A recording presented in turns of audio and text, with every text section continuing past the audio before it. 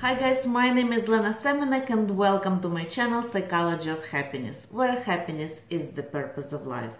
Today's question is dating a married man, wife versus mistress, consequences of dating a married man. Today's question came from a YouTube viewer and I would like to say thank you for that question because it's very interesting and very important. So let's talk about what to expect from love triangles uh, how to handle love triangles, what to do, and what's the consequences of dating a married man. Let's start. A lot of women think that a man will leave his wife and they can build a happy, loving, caring, uh, profound relationship. Uh, this is a big myth. Of course, there are exceptions, but in most cases, divorce and mistress are two different things. So yes, man uh, can divorce his wife, but not because he has a mistress. There are several uh, other popular reasons why people are getting divorced. So a uh, man will not divorce his wife because of his mistress. This is a myth. Uh, it can happen and sometimes it happens, but uh, the percentage is very small. Usually there is another reason for divorce. So let's talk about what can be the reason and why a man is not divorcing his wife, what he is telling his mistress. Just think about it, uh, why he's still in a relationship. So if he is not happy with his wife, if he does not like to spend time with her, if uh, for many months or years they are not happy and they don't sleep together as uh, the men like to say, so why he's still in relationship? Why is he still married? A lot of men are saying that they're not happy for years and his wife is such a bad person and blah blah blah. So why he's still with her? The popular answer is I'm not getting divorced because of kids. But let's talk about this uh, reason and see if it's a reason or excuse. For example, there is a hundred percent of man's time and uh, he is using, let's say, 30% uh, for sleep. Just physically, he's sleeping at home. The rest of the 70%, uh, let's say 50% he's spending at work. Uh, another 10% he's at the gym or with friends. And maybe another 10 to 15% he's spending with you. So out of 100% of his time, how much uh, is he spending with kids? Like 5%? So if there is only 5%, then ask yourself, is it a reason? Is those 5% are really that important?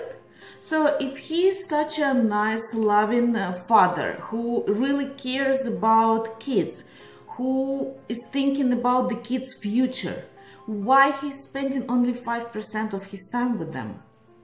So is it an excuse or is it a real reason for him not to get a divorce? Another good question to think about is ask your man for how long he's having issues, problems, conflicts with his wife.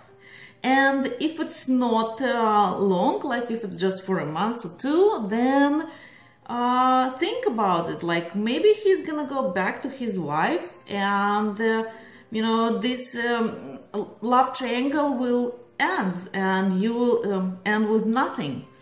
And if he will say that he is um, having issues with his wife for years, then ask him who was in his life before you.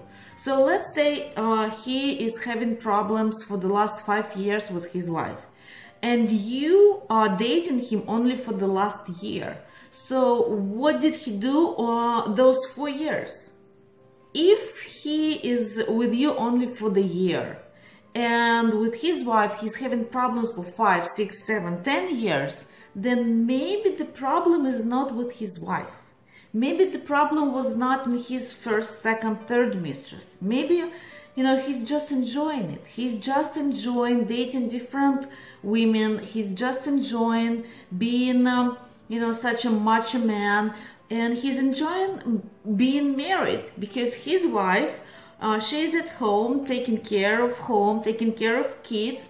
and he is spending time with his wife and when he wants to have a little bit more fun he's going uh, to you he's coming to mistress just to have some something new in his life. So for him it's a hobby.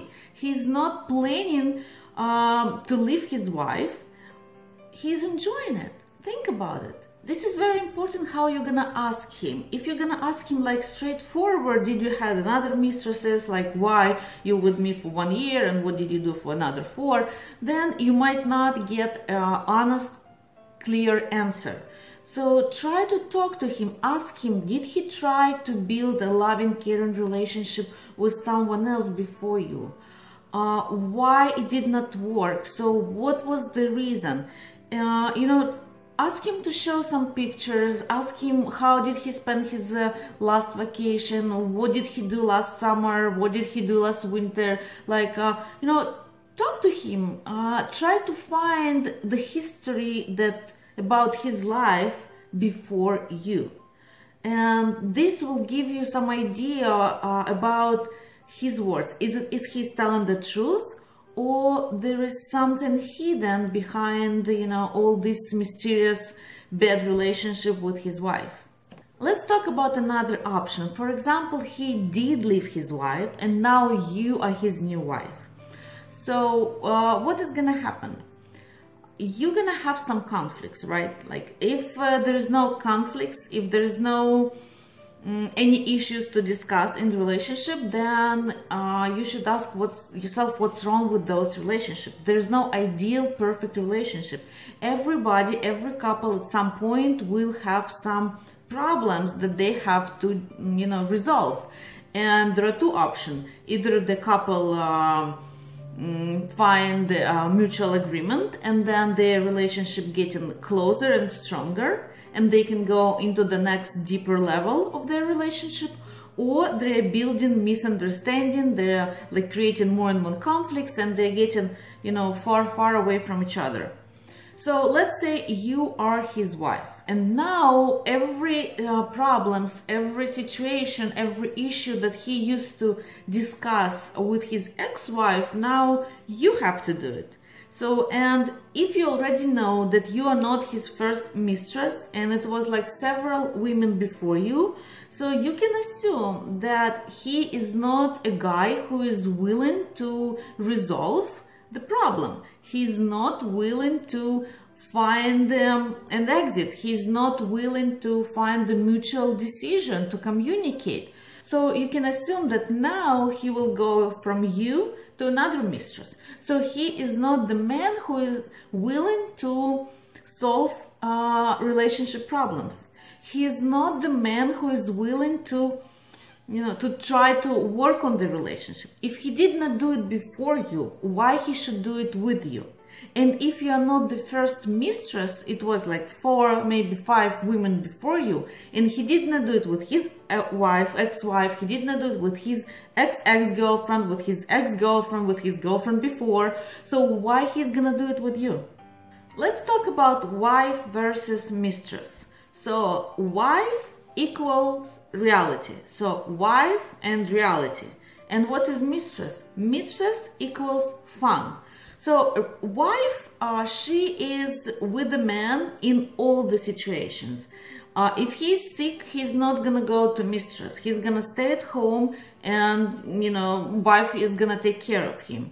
If he's in a bad mood, he's prob he probably will not come to his mistress to tell her about the problems. He will come to her just to relax, to have fun, and to forgive about his problems, just for the short period of time. Uh, and when he's coming home back to his wife, he's gonna, you know, tell her about like maybe financial difficulties, maybe about, you know, his problems with his uh, children, maybe with his parents. So he will bring all the bad and negative feelings to his wife. And when he's going to see his mistress, he's coming for fun, he's coming for joy. Once you become his wife, all those expectations, all those uh, negative things will be also related to you. And if he already used to uh, separate, used to divide those feelings like fun and reality, then he will have to, he will just have to find someone else to continue what he's used to because he's used to this pattern of dividing things you know this woman for reality this woman for fun. And once you're gonna jump from fun part to reality he's gonna look for another person another mistress another woman who can you know fulfill this fun part. And the worst part for mistress in a love triangle is that she is always number two yes, there are a lot of fun, a lot of joy, a lot of gifts uh, for the mistress. And there are a lot of good things being a mistress too. I can see those benefits. Uh, for example, the man can say like, you know, my wife, she's fat and you have such a nice figure. She's, you know, um, I, I, don't want her, but you're so sexual and attractive to me. Uh, she's always in a bad mood and you're such a fresh and happy person. So there's always mm, pluses of being a mistress and a lot of women, they enjoy it because for them it's like they feel special. But in reality, you're always number two all the holidays, uh, their New Year, their Christmas, uh, Thanksgiving, Valentine Day, he is spending with his wife. Even if he's calling you, even if he's coming to you, and even if you're going out with him, at some time, you know, like 9 p.m., 10 p.m., 7 p.m., he's going to his wife. You cannot plan a weekend together. You cannot be spontaneous you cannot even go to any place that you want because uh, you have to be careful. You have to be careful to choose a restaurant. You have to be careful to choose a vacation place to go. You have to be careful all the time. And if you are together with your man who is married, and there is a person across the street or there is another person in the restaurant who knows his wife or who knows him it might be a problem. He might pretend that you're not a lovers he might pretend that he does not know you. At some point you're this special woman and you know right in a second you became no one. And it's very painful. It's sad. It's um, it's devastating. And the worst part is you're getting used to this position. You're getting used to be number two and the more you're dating a married man, the more you're used to these uh, feelings. And it's very hard to get your self-esteem, your self-confidence back to present yourself as a woman who deserves more. So when you uh, leave this married man, you go in uh, on a dating website or you go in just in a bar and you're meeting another man who is also married and it's come it's becoming a circle. It's becoming a circle because you already translate with your body language with your look with your words. Uh, it's already in inside you. It's already like built in you. I am number two. So uh, other guys who are willing to cheat who is looking for a mistress they will see you right away. They will be attracted to you and you will be attracted to them because because why? Because you're used to this uh, situation. You're used to these feelings. And you translate those feelings. So think about it. Because the longer you are in this painful relationship the harder it's gonna be for you to end this circle. So what can you do? At this point when you realize that uh, you're going in the same circle and you don't see an exit, uh, you know, go to professional person, uh, find a psychologist, find a relationship coach, and uh, work on this problem. If you cannot afford it, uh, then try to read books, uh, research YouTube, uh, look for different videos. I already posted several videos about happy, healthy relationship, and I will leave the links below this video in the description box. Uh, check uh, the other videos, why a man needs a woman, why a woman needs a man, uh, how to be happy in relationship, how to make a guy to fall in love with you. So do your research, watch videos, educate yourself, find couples who are happy in relationship, talk to them, surround yourself with people who are happy in their relationship, who already have healthy, loving, caring, uh, passionate relationship and observe you know uh, look what else you can do. Look what other type of relationship you can have in your life.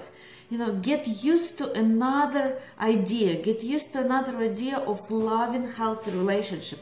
Let's investigate this problem together. Share your comments. Share your questions. Tell me what do you think? Love triangles. What to do uh, what consequences can be of dating a married man. Share this video with your friends, post it on your Facebook, Twitter, subscribe to my channel, click the bell icon to receive notifications of new videos, and thank you for watching Psychology of Happiness, where happiness is the purpose of life.